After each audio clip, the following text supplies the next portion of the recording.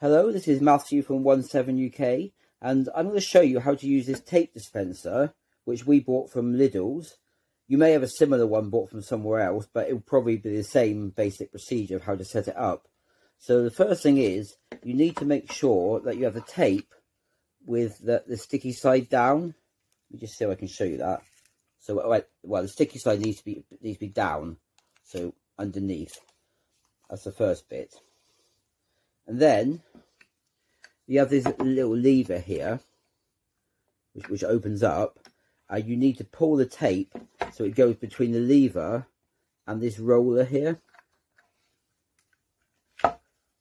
It's a little bit awkward because to get your, fing your finger in here, the bit to pull it up is on this side, but of course that's where your other hand's going to be trying to do the tape. So it is a little bit awkward, but if you get your finger in there, and then you pull the tape through as best you can like this and then put the lever back down again. So so the bit you can see here that that's the sticky side. And then at the top here there's a little sign with a hand and a thing with an exclamation like caution which is saying that the blade is there. And now at the moment you can't see the blade because it's covered up. But this little bit here if you take it off just pull it. You do have to pull it quite hard the first time. I, I put it back up, back on now to show you and also to cover up the blade. But that's where the blade is, you can, you can see.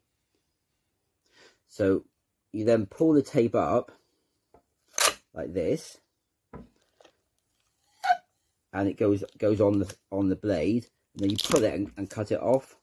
It cuts off it's a little little bit awkward, more awkward than the normal sellotape dispensers because normally the sticky side will be sticking on the blade, but but this with this dispenser it's not sticking on the blade, so it does tend to just sort of flop around a bit.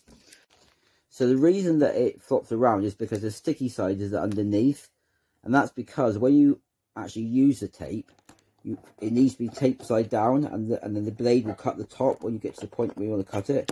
So you stick it down, and move it along the box like this. And when you get to the point where, where you want to cut, wherever that is, you just go twist it and it comes off and sits down.